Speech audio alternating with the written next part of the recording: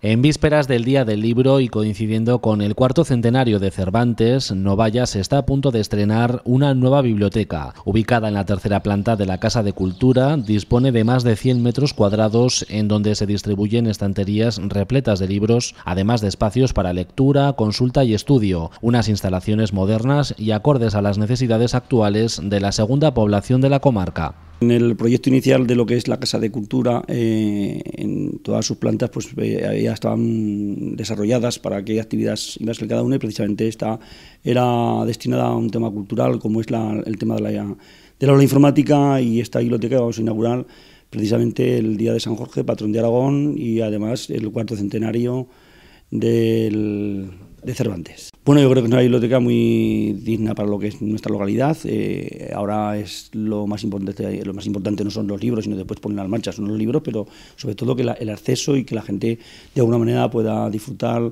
de estar en la biblioteca, leer. Y esa es la, predisposición que en estos momentos tenemos para dejarla eh, puesta en marcha y lo más pronto que tarde pues ya la gente pueda disfrutar de la biblioteca. Junto a la biblioteca está la sala de informática y el nuevo archivo municipal. La anterior estaba en el castillo. Ahora la intención del consistorio es abrirla en horario de mañana y tarde, gracias en parte a la ayuda de voluntarios. Yo calculo que está en torno a los 150 metros. Eh, como veis en la planta está ubicado también, está ubicada la aula informática con los servicios correspondientes y entonces pues el tema, todo el tema de libros eh, y demás pues son libros que se han actualizado, libros que también tenemos de hace muchísimo tiempo que teníamos en la biblioteca anterior, que hacía tiempo que estaba un poco, como hemos estado en obras que estaba paralizada y ahora eh, pues al, la puesta en marcha lógicamente se han reubicado todo el tema de libros y se ha organizado a través de los voluntarios, que hemos tenido una serie de personas voluntarias que se han dedicado precisamente al, montaje de la biblioteca y que desde aquí pues les agradezco toda esa labor que han hecho durante estos días. Y hay también para lectura, está también pues eh, con el tema informático también, eh, lógicamente en estos momentos pues no solo la lectura eh, hoy es lo que se tiene en la biblioteca, ¿no? Y entonces pues hemos también hemos ubicado también pues medios tecnológicos precisamente para que la gente pueda tener acceso a ellos. La anterior biblioteca estuvo en el, lo que era antes el antiguo castillo, ¿no? Eh, ya hace unos años por el tema de reubicación y como el sitio definitivo iba a estar aquí, pues hemos estado pensando que terminase en esta obra. Esta obra, como ya sabes, es una obra que lleva muchísimos años en, en ejecución porque se ha hecho por fases. Entonces, pues esta última fase eh, ha supuesto en torno a los 150.000 euros eh, con el tema de la ubicación de la, de la, aula, informática y la biblioteca. Y luego, como también habéis podido ver, también tenemos ubicados aquí los archivos municipales, unos archivos también que también en este momento ya están dejando por los servicios técnicos en marcha y que de alguna manera nos hace también ordenar un poco todos los expedientes que teníamos un poco, pues de una manera, no digo, eh, vamos a decirlo por una palabra, no digna, ¿no? Ahora en este momento, pues sí. La nueva biblioteca forma parte de un proyecto de gran envergadura como es el de la Casa de Cultura, iniciado hace más de una década y que está a punto de culminar.